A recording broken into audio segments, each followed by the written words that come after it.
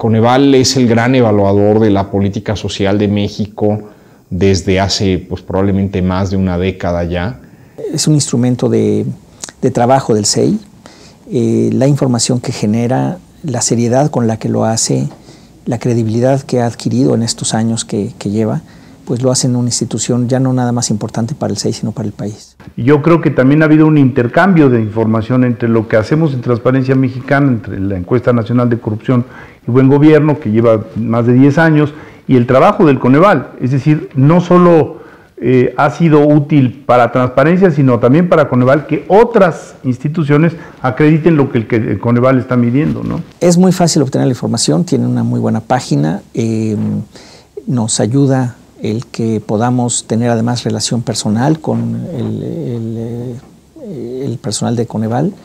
Es decir, tenemos una, ahora sí que una relación de trabajo cotidiana con, con el Coneval. No tienen ningún tipo de sesgos, son muy accesibles.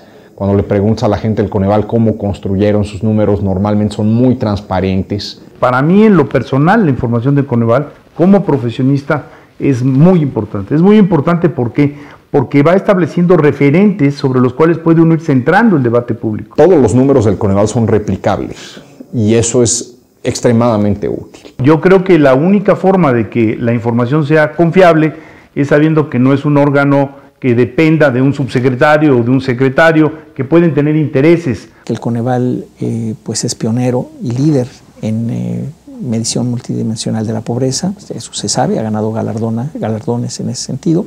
Y pues creo que es una institución de la que tenemos que sentirnos muy orgullosos todos los mexicanos. El Coneval en estos años ha ganado enorme credibilidad, mucha legitimidad por la seriedad con la que hace su trabajo, por la seriedad de las personas que lo llevan, que lo liderean, por el consejo que tiene también y todo su personal. Por eso es importante que exista una institución como, como el Coneval, en la cual podamos todos confiar. Y se ha acreditado, muy rápido en la sociedad mexicana. Coneval es una institución muy joven y sin embargo en muy poco tiempo ha logrado el reconocimiento de los cientistas sociales, de los analistas, de los que nos dedicamos a este oficio y de la sociedad.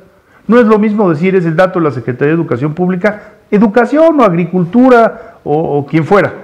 Es lo de menos que decir es un dato del Coneval.